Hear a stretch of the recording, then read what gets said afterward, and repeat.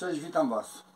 Mimo tego, że tutaj mam e, w tym domku ogrzewanie na prąd podłogowe pod panelami i na ścianach, to jednak najefektywniejsze jest ogrzewanie tutaj właśnie w tym kominku. Żywy ogień jest po prostu najbardziej kaloryczny, tak mi się wydaje i najbardziej jeszcze jak do tej pory tanio wychodzi. Także odpalimy to teraz tutaj i pokażę Wam po prostu jak to tutaj wszystko działa.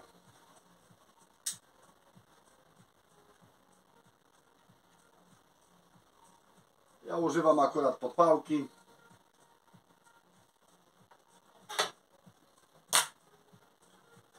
Chwilę, żeby się rozpaliła.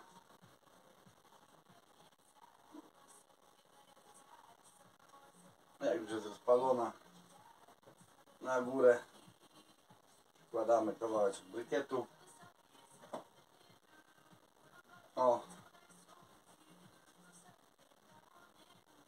I ok, zamykamy. Jest.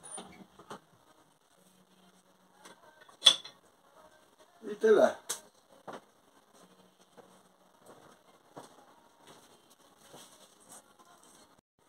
Jeśli chodzi o ogrzewanie elektryczne, to tutaj mam jeden grzejnik na ścianę. Tutaj jest drugi grzejnik na ścianie. Tutaj pod panelami jest położona folia grzewcza. I jeden grzejniczek taki tutaj zrobiłem na ścianę. Także tak to tutaj wygląda z ogrzewaniem. I gdy już jest dobrze rozpalone i kominek jest już nagrzany, nawet się nagrzewa tam do 300-300 parę stopni w środku, bo jest szamotem wyłożone, na innych moich filmikach możecie sobie zobaczyć. Załączam tutaj jedną turbinkę, żeby rozprowadzała ciepło przez te tutaj wywietrzniki i w pomieszczeniach rurami. I drugą turbinkę która też wypycha te zgromadzone ciepło tutaj w tej komorze, co jest u góry komora.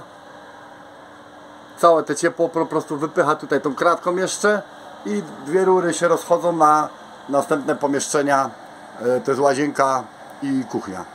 Także tak to wygląda i tak jak mówiłem jest to najbardziej efektywniejsze szybko przede wszystkim szybko idzie nagrzać e, dużo, dużo kaloryczne jest to, to ciepło i kominek jak się nagrzeje bo mówię tutaj jest powykładane szamotem wszędzie to on jeszcze trzyma ciepło aż na drugi dzień także tyle jak ktoś nie ma kominka, to polecam po prostu, żeby i ma możliwość postawienia takiego kominka gdzieś w domku czy w domu, to jest najlepsze rozwiązanie. Dopóki można jeszcze palić w tych kominkach. Nie wiadomo kiedy to zabronią nam.